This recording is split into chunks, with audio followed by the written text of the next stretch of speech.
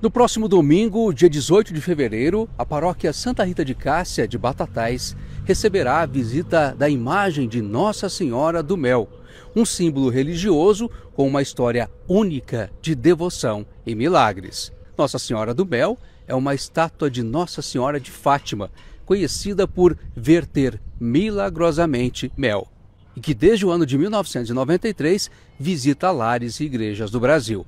O pároco Padre Neuci de Souza traz detalhes sobre a programação durante a visita. A imagem deve chegar por volta aí das 7h15, 7h30 da manhã.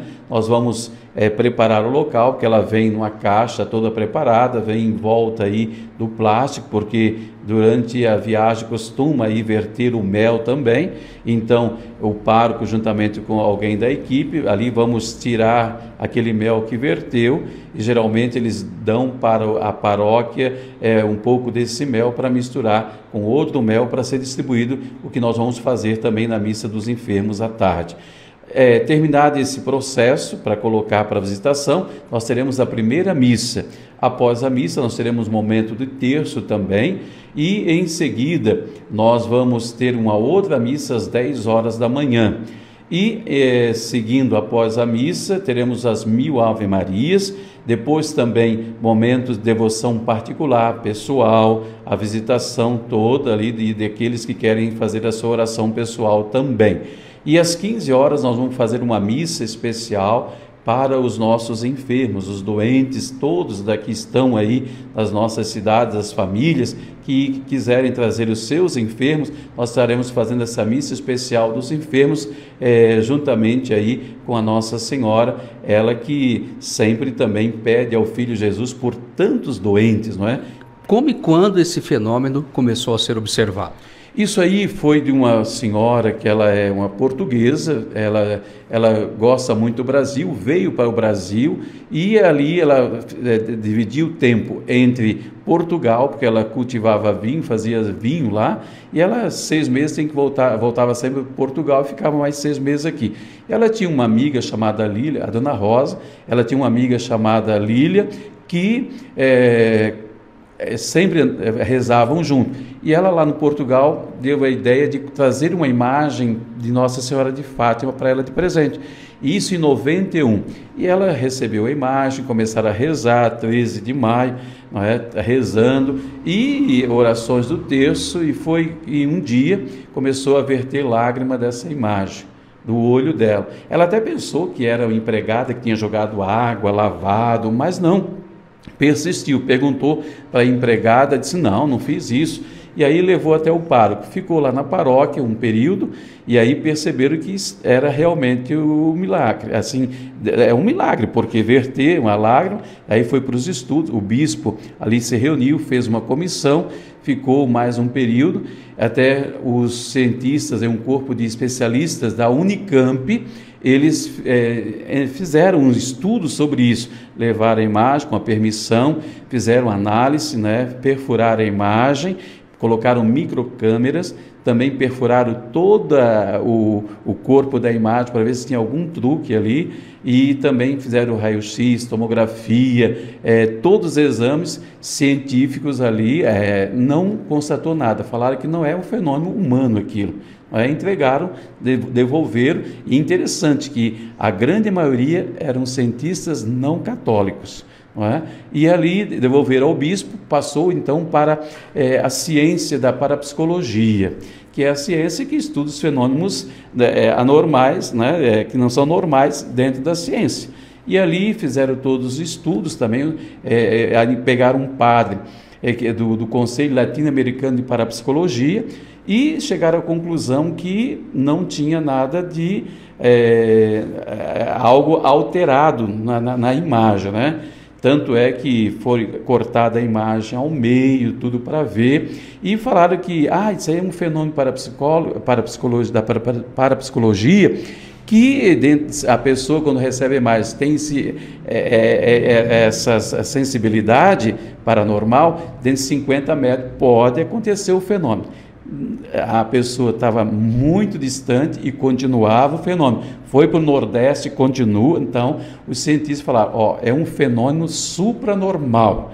de concluir os, os parapsicólogos. Isso quer dizer, em outras palavras, é milagre.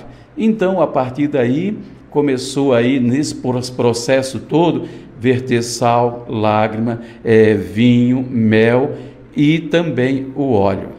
O, o, quando o fenômeno acontece? A qualquer momento, padre? Acontece em qualquer momento em que a comunidade está ali rezando, orando, acontece esses fenômenos. Pode acontecer de não jorrar, verter o mel, pode ser a lágrima, pode ser o óleo, pode ser o vinho. Isso poderá acontecer no próximo domingo?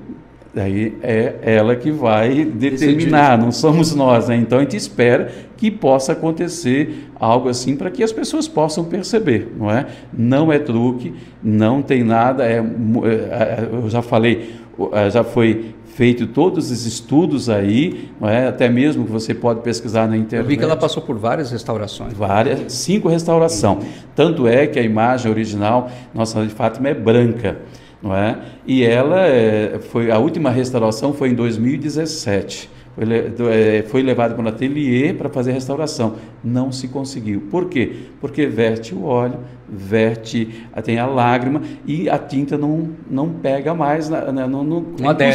É a mesma coisa você pintar uma, uma parede, uma casa um dia de chuva. Não vai, vai sair tudo. Assim que aconteceu com a imagem. Levaram até para o, psico, para o ó, não consegue fazer a restauração. Ele assim, Nossa Senhora não quer ser mais pintada. E por isso que fica aquela cor, não é betume, não é verniz, não é tinta.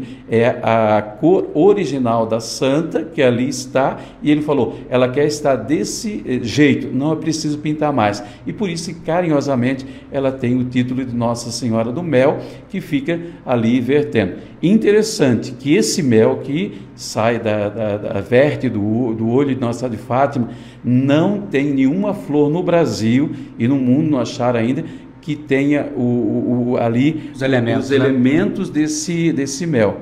Como também o vinho, não tem nenhuma uva no mundo parecida que possa comprovar isso aí. Então, são todos elementos, estudos que são feitos sobre isso aí.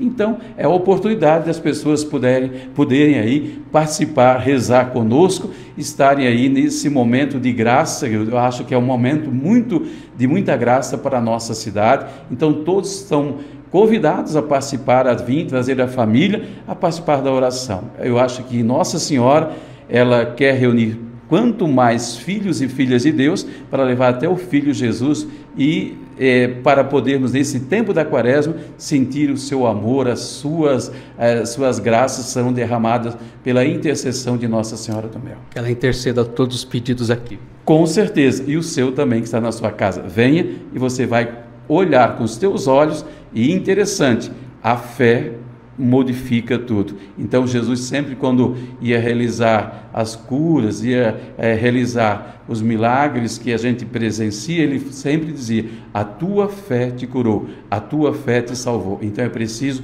acreditar, confiar nos toques de Deus na vida da nossa caminhada como filhos e filhas dele nesse mundo. O endereço aqui da paróquia para o pessoal da região? É na Praça Santa Rita, número 2, no bairro Simar. É só colocar aí no Google, é Praça Santa Rita, número 2, paróquia Santa Rita de Cássia, você vai chegar tranquilamente. Obrigado, Padre, pelas informações. Obrigado, eu que agradeço e que Nossa Senhora do Mel interceda por você e ela estará com certeza de braços abertos para te receber nesse domingo, dia 18.